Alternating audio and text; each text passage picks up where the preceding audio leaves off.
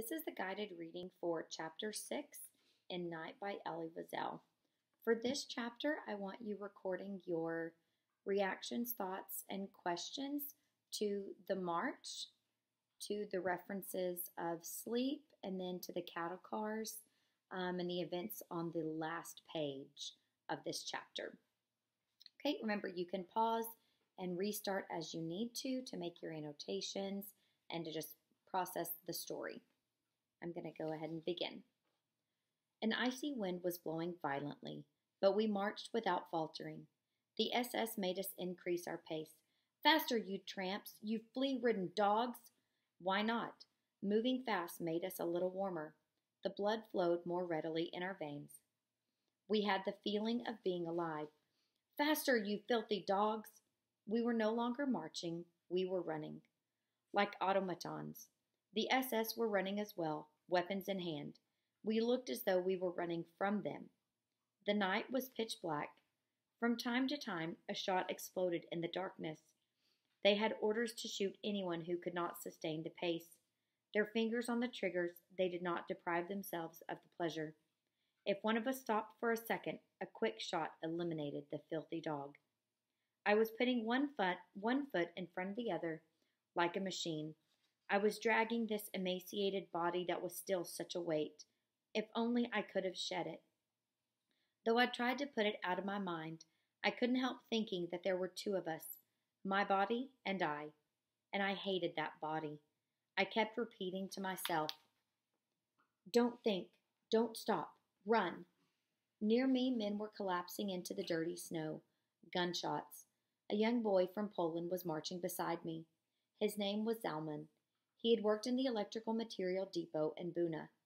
People mocked him because he was forever praying or meditating on some Talmudic question. For him, it was an escape from reality, from feeling the blows. All of a sudden, he had terrible stomach cramps. My stomach aches, he whispered to me. He couldn't go on. He had to stop a moment. I begged him, Wait a little, Zalman. Soon we will all come to a halt. We cannot run like this to the end of the world. But while running, he began to undo his buttons and yelled to me, I can't go on. My stomach is bursting. Make an effort, Zalman. Try. I can't go on, he groaned. He lowered his pants and fell to the ground. This is the image I have of him. I don't believe that he was finished off by an SS, for nobody had noticed. He must have died, trampled under the feet of the thousands of men who followed us. I soon forgot him. I began to think of myself again. My foot was aching. I shivered with every step. Just a few more meters and it will be over. I'll fall. A small red flame. A shot.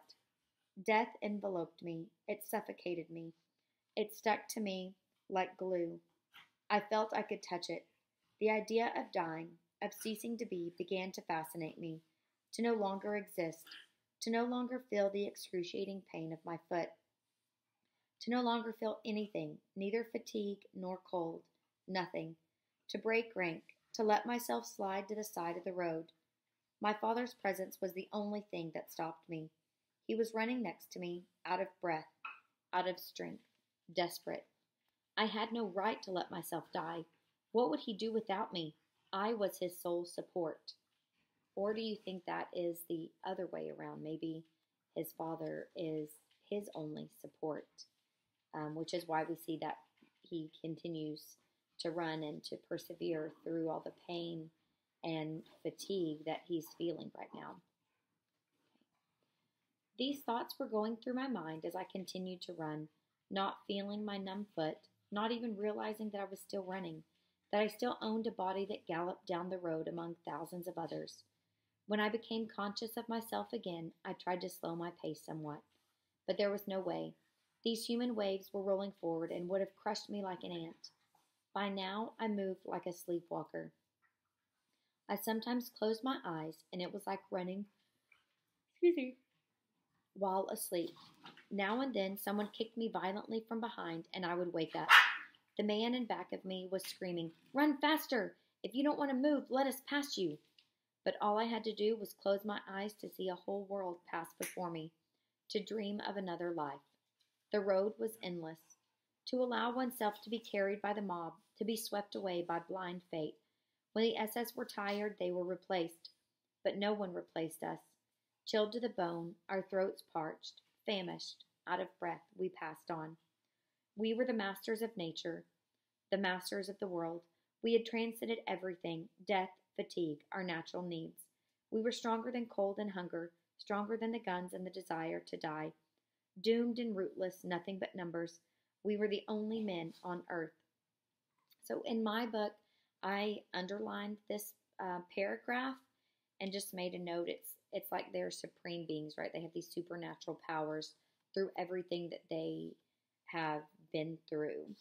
Um, there should be other lines in this chapter so far that stand out to you about the the march and how things are going right now. Um, so if you need to pause and make some annotations, write down some questions or thoughts, please do that now and then restart when you're ready to continue. At last, the morning star appeared in the gray sky. A hesitant light began to hover on the horizon. We were exhausted. We had lost all strength, all illusion. The commandant announced that we had already covered 20 kilometers since we left. Long since we had exceeded the limits of fatigue. Our legs moved mechanically in spite of us, without us. We came to an abandoned village. Not a living soul. Not a single bark. Houses with gaping windows. A few people slipped out of the ranks, hoping to hide in some abandoned building. One more hour of marching, and, at last, the order to halt. As one man, we let ourselves sink into the snow. My father shook me. Not here.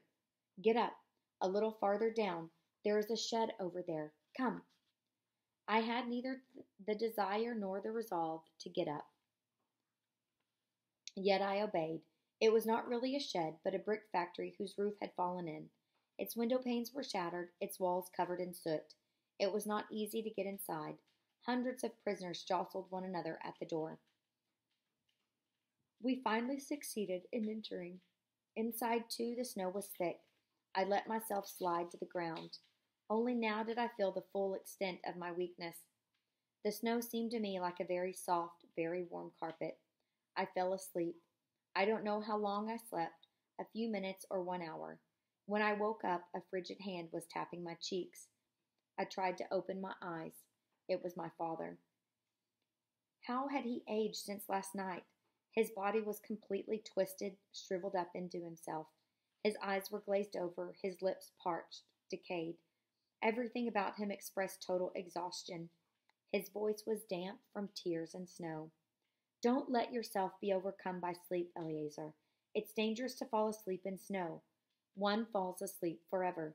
Come, my son. Come, get up. Get up. How could I? How was I to leave this warm blanket? I was hearing my father's words, but their meaning escaped me, as if he had asked me to carry the entire shed on my arms. Come, my son, come. So here we have that reference to sleep. So, this advice that his father gives him here, right? You could highlight that, underline that, and put your thoughts about this, right? And then we'll see more references to sleep as the march continues. I got up with clenched teeth. Holding on to me with one arm, he led me outside. It was not easy. It was as difficult to go out as to come in. Beneath our feet there lay men, crushed, trampled underfoot, dying. Nobody paid attention to them. We were outside. The icy wind whipped my face. I was constantly biting my lips so that they wouldn't freeze. All around me what appeared to be a dance of death. My head was reeling. I was walking through a cemetery. Among the stiffened corpses there were logs of wood. Not a sound of distress, not a plaintive cry, nothing but mass agony and silence. Nobody asked anyone for help. One died because one had to. No point in making trouble. I saw myself in every stiffened corpse. Soon I wouldn't even be seeing them anymore. I would be one of them. A matter of hours. Come, father, let's go back to the shed. He didn't answer. He was not even looking at the dead. Come, father. It's better there. You'll be able to lie down. We'll take turns. I'll watch over you, and you'll watch over me. We won't let each other fall asleep. We'll look after each other. He accepted. After trampling over many bodies and corpses, we succeeded in getting inside. We let ourselves fall to the ground. Don't worry, son. Go to sleep. I'll watch over you. You first, father. Sleep. He refused. I stretched out and tried to sleep, to doze a little, but in vain. God knows what I would have given to be able to sleep a few moments, but deep inside I knew that to sleep meant to die. That's an important line there, too, um, that you could highlight and uh, record your reaction or thought to that. And something in me rebelled against that death, death which was unsettling and all around me, silently, gently. It would seize upon a sleeping person, steal into him, and devour him bit by bit. Next to me, someone was trying to awaken his neighbor, his brother, perhaps, or his comrade. In vain. Defeated, he lay down too next to the corpse and also fell asleep. Who would wake him up? Reaching out with my arm, I touched him. Wake up. One mustn't fall asleep here. He half opened his eyes. No advice, he said, his voice a whisper. I'm exhausted. Mind your business. Leave me alone. My father, too, was gently dozing. I couldn't see his eyes. His cap was covering his face. Wake up, I whispered in his ear. He awoke with a start. He sat up, bewildered, stunned, like an orphan. He looked all around him, taking it all in as if he had suddenly decided to make an inventory of his universe, to determine where he was and how and why he was there. Then he smiled. I shall always remember that smile. What world did it come from? Heavy snow continued to fall over the corpses. The door of the shed opened. An old man appeared. His mustache was covered with ice. His lips were blue. It was Rabbi Eliyahu, who had headed a small congregation in Poland. A very kind man, beloved by everyone in the camp, even by the capos and the Blockälteste. Despite the ordeals and deprivations, his face continued to radiate his innocence. He was the only rabbi whom nobody ever failed to address as rabbi in Buna. He looked like one of the prophets of old, always in the midst of his people when they needed to be consoled. And strangely, his words never provoked anyone. They did bring peace. As he entered the shed, his eyes, brighter than ever, seemed to be searching for someone. Perhaps someone here has seen my son? He had lost his son in the commotion. He had searched for him among the dying to no avail. Then he had dug through the snow to find his body. In vain. So, have you noticed in chapter 5, he also uses this fragment in vain? And now we've seen it twice already in chapter 6. So, that's an important one to note. And I would record why is it significant? Why does he keep repeating this fragment? I'm going to continue reading. For three years they had stayed close to one another. Side by side they had endured the suffering, the blows. They had waited for their ration of bread, and they had prayed. Three years, from camp to camp, from selection to selection. And now, when the end seemed near, fate had separated them. When he came near me, Rabbi Eliyahu whispered, It happened on the road. We lost sight of one another during the journey. I fell behind a little at the rear of the, of, of the column. I didn't have the strength to run anymore, and my son didn't notice. That's all I know. Where has he disappeared? Where can I find him? Perhaps you've seen him somewhere. No, Rabbi Eliyahu, I haven't seen him. And so he left, as he had come, a shadow swept away by the wind. He had already gone through the door when I remembered that I had noticed his son running beside me. I had forgotten and so had not mentioned it to Rabbi Eliyahu. But then I remembered something else. His son had seen him losing ground, sliding back to the rear of the column. He had seen him, and he had continued to run in front, letting the distance between them become greater. A terrible thought crossed my mind. What if he had wanted to be rid of his father? Had he felt his father growing weaker and, believing that the end was near, had thought by this separation to free himself of a burden that could diminish his own chance for survival? It was good that I had forgotten all that. and I was glad that Rabbi Eliyahu continued to search for his beloved son. And in spite of myself, a prayer formed inside me, a prayer to this God in whom I no longer believed. O God, Master of the universe, give me the strength never to do what Rabbi Eliyahu's son has done. Next page. There was shouting outside in the courtyard. Night had fallen, and the SS were ordering us to form ranks. We started to march once more.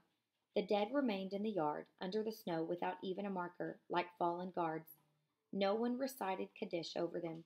Sons abandoned the remains of their fathers without a tear. On the road it snowed and snowed. It snowed endlessly. We were marching more slowly. Even the guards seemed tired. My wounded foot no longer hurt, probably frozen. I felt I had lost that foot. I had become detached, it had become detached from me like a wheel fallen off a car. Never mind, I had to accept the fact. I would have to live with only one leg. The important thing was not to dwell on it, especially now. Leave those thoughts for later.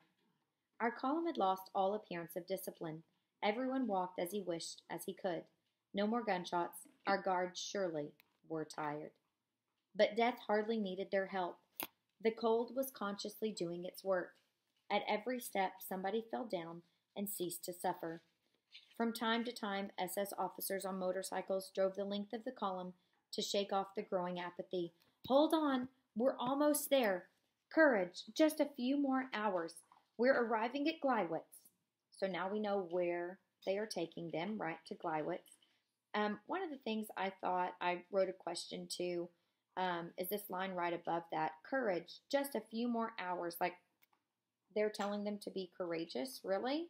That was my question. Really? That doesn't seem to make much sense, right? I'm going to continue. These words of encouragement, even coming as they did from the mouths of our assassins, were of great help.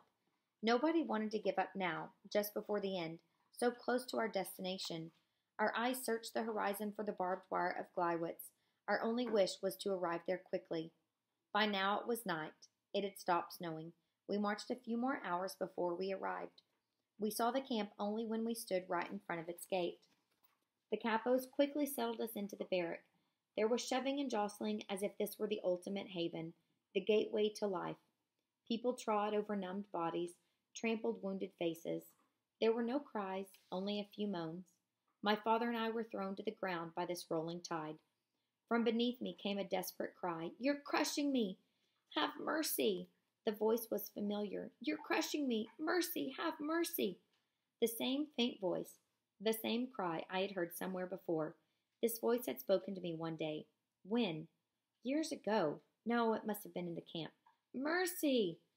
Knowing that I was crushing him, preventing him from breathing, I wanted to get up and disengage myself to allow him to breathe.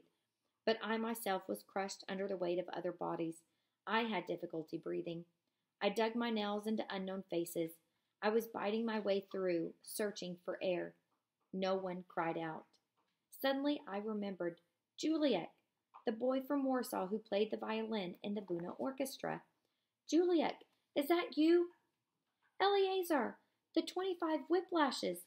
Yes, I remember. He fell silent. A long moment went by. Juliek, can you hear me, Juliek?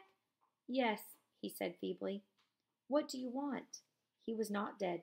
Are you all right, Juliek?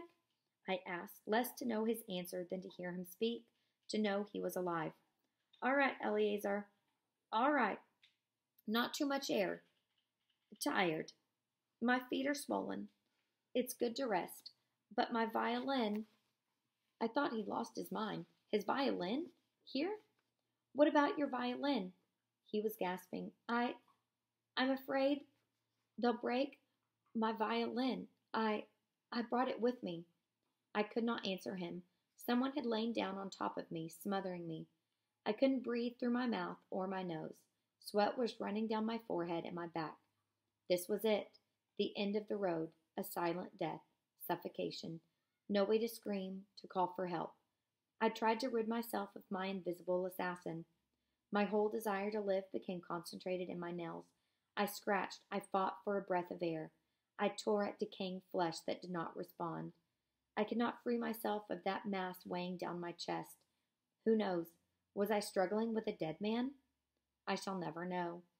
All I can say is that I prevailed. I succeeded in digging a hole in that wall of dead and dying people, a small hole through which I could th- drink a little air. Father, are you there? I asked as soon as I was able to utter a word. I knew that he could not be far from me.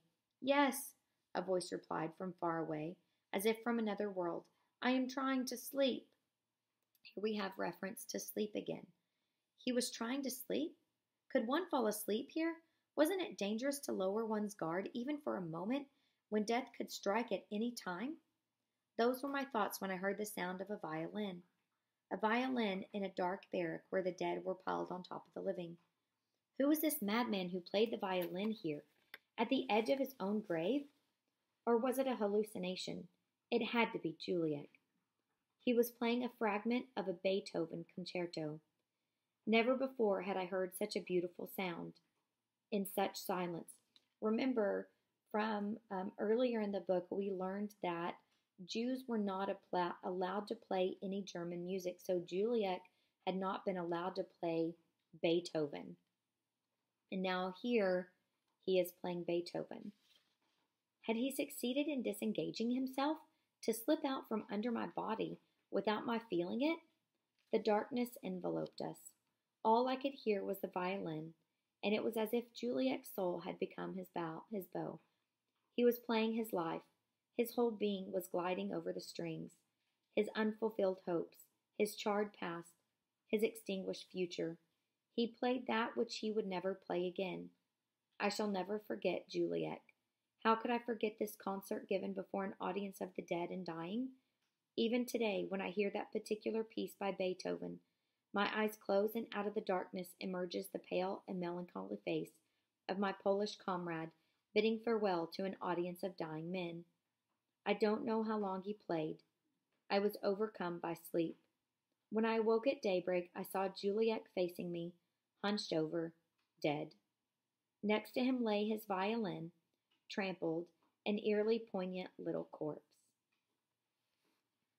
We stayed in Gleiwitz for three days, days without food or water. We were forbidden to leave the barrack. The door was guarded by the SS. I was hungry and thirsty.